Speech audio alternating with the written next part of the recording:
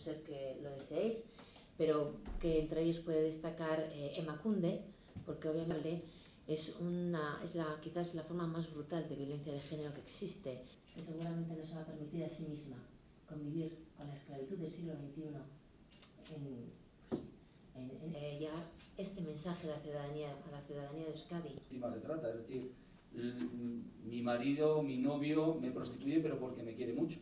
Antiguas detectadas en, en Euskadi y, es, y hay, hay, hay, mujeres que vienen a, a Euskadi de, la, de, las redes. Tengo que decir que son experiencias de vida que te cuentan que se te ponen los pelos de punta, porque eh, lo que hacen es les quitan el dinero, les llevan a un piso y les dicen que el, el trabajo de una fe ciega.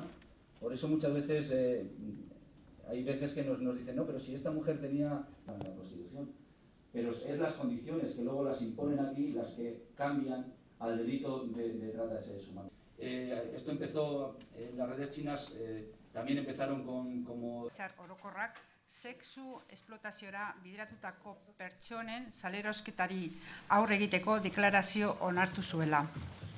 Aitzakia ona izan da guretzat, laugarren urte hurren hori ertxantzak eskuartean daukan ekintza plana aurkezteko. Edabideon laguntzaz, Euskadiko hiritarrei azaldu nahi diegu, sexu esplotaziora bideratutako giza zalerosketaren arazoari aurre egiten ertxantza burutxien ari den prebentzio plana. Como les decía, en primer lugar, eh, agradecerle su presencia aquí, que se hayan acercado hasta esta comisaría de, de Gasteiz, para eh, atender eh, nuestra convocatoria en la que queremos eh, presentarles el plan de acción contra la trata de seres eh, humanos con fines de explotación sexual que viene desarrollando la Erchancha. Viene sabido que este, el de la trata de personas, sigue siendo uno de los problemas más graves que se, que se afronta desde la comunidad eh, internacional. Y a ello se debe precisamente que la Asamblea General de Naciones Unidas, hace ahora cuatro años, como les eh, comentaba, precisamente el 18 de diciembre de 2013, aprobara una declaración para adoptar las medidas necesarias para hacer frente a esta lacra social, porque es una verdadera lacra social en pleno siglo XXI. Propone eh, eh, la Asamblea General de Naciones Unidas políticas activas y medidas de prevención que nos atañen a todas las instituciones públicas, a las organizaciones humanitarias que se ocupan del, tema y también, diría yo, que a toda la sociedad en general. Y evidentemente, como no puede ser de otra manera, también concierne a la Erchancha como policía integral que es, garante de las libertades de todas las personas que viven en Euskadi, aunque estas personas vivan de una manera eh, transitoria o de una manera temporal. Como vamos a ver eh, más adelante a lo largo de la presentación, la Erchancha lleva mucho tiempo trabajando sobre el tema. Lleva eh, mucho tiempo ocupándose de prevenir y de combatir la trata de personas y siempre, siempre se ha ocupado de proteger y prestar asistencia a las víctimas de trata. Precisamente este plan de acción que hoy les vamos a presentar busca avanzar en esta labor con una metodología de trabajo propia definida siempre en clave de prevención, prevención de la trata, de protección de las eh, víctimas y, por supuesto, de persecución de quienes promuevan este tipo de actos delictivos. En la presentación, como ven ustedes, eh, vengo bien acompañada. Me acompaña a mi derecha Patricia Martínez de Musitu, que es la jefa de centro de la comisaría de Bilbao a mi derecha, más a mi derecha, eh, Hugo Prieto, que es el jefe del área de delitos contra las eh, personas de la sección central de investigación criminal y policía judicial, y a mi izquierda está Iñaki Arteaga, que es el jefe de investigación territorial de Áraba, con sede precisamente en esta comisaría de, de Gasteiz. Los tres, Patricia, Hugo e Iñaki, forman parte del grupo estable, un grupo de trabajo de la trata de, de, grupo de trabajo contra la trata de seres humanos. Un grupo de trabajo que se ha encargado de diseñar, de fijar la metodología, de definir las necesidades de formación y también de facilitar la ejecución de este plan que les vamos a presentar. Los tres nos van a presentar el plan el trabajo que vienen haciendo a lo largo de, de, todo este tiempo, los pormenores del plan, cuál es el nivel de ejecución, cuál es el proyecto de desarrollo a corto plazo en fin, eh, ellos nos van a dar los detalles, eh, como digo, de, lo que es la ejecución de este plan y cuál es su proyección a futuro.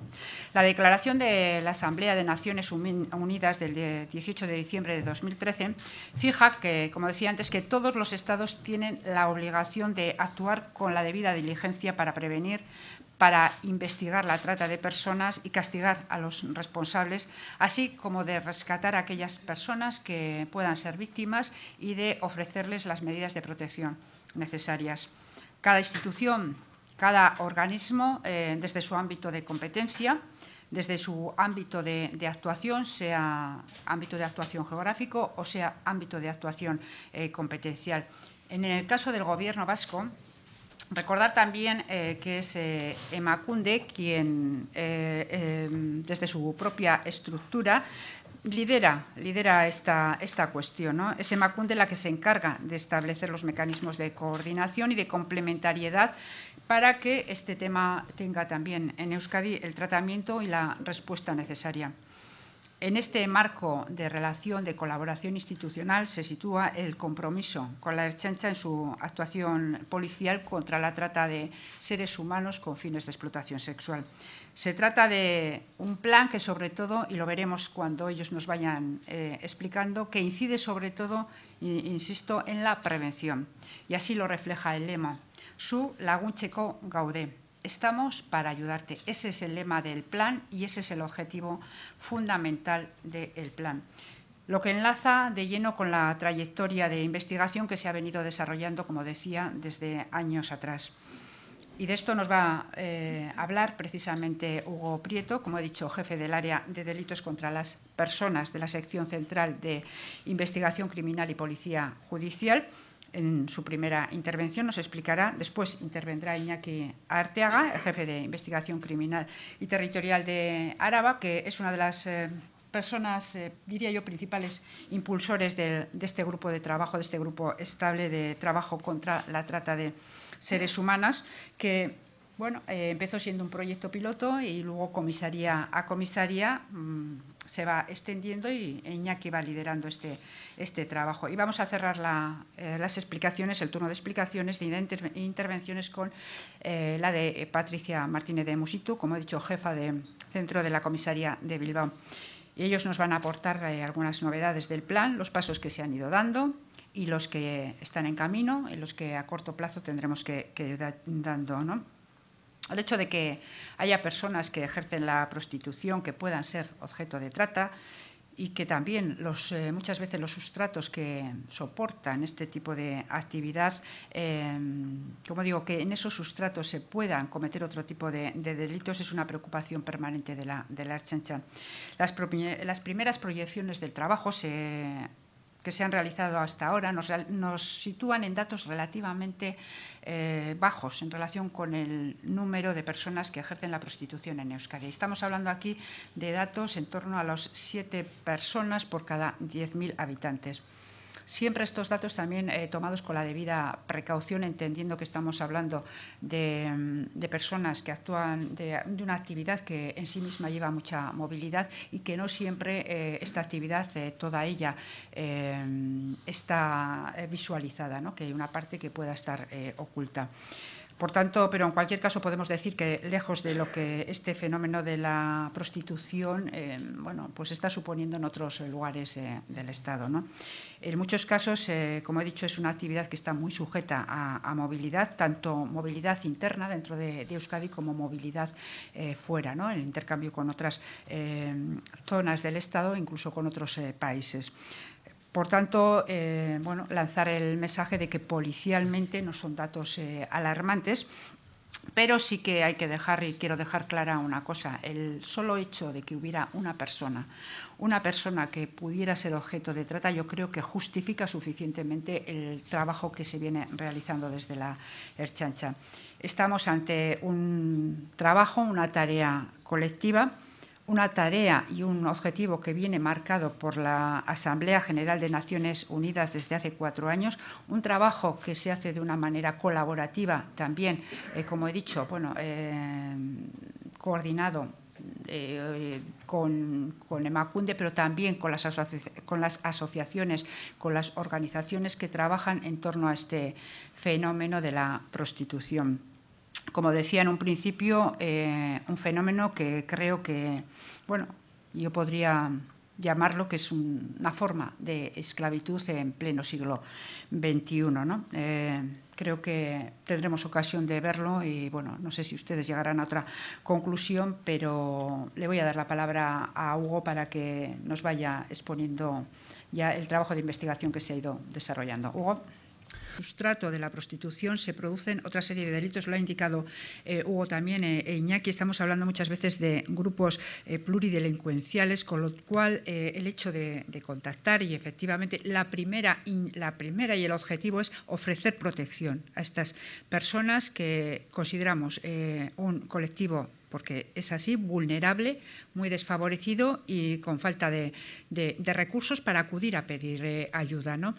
Eh, en ese aspecto, detrás hay un... Hay, eh, pues un sector delincuencial amplio y eso nos ha permitido también abrir investigaciones en otros ámbitos. Investigaciones que puede ir, como ustedes pueden imaginar, desde tráfico de drogas hasta otro tipo de, delitos, ¿no? pero siempre normalmente eh, suele haber eh, un ámbito delincuencial, pluridelincuencial, como, como decíamos, tras, tras eh, el hecho de la, de la, prostitución y que, como bien han explicado, a raíz de esta modificación, transformación también y, o evolución en la forma de ejercicio, va hacia espacios cada vez más opacos. Entonces, eh, yo lo he repetido muchas veces, como Erchancha tenemos el compromiso de salir a ver qué, cuál es el problema que tiene la sociedad. No tenemos que esperar no tenemos que estar esperando en la comisaría que vengan a denunciarlo. Tenemos que salir. Y en el ejercicio de ese salir, esta es una actuación más.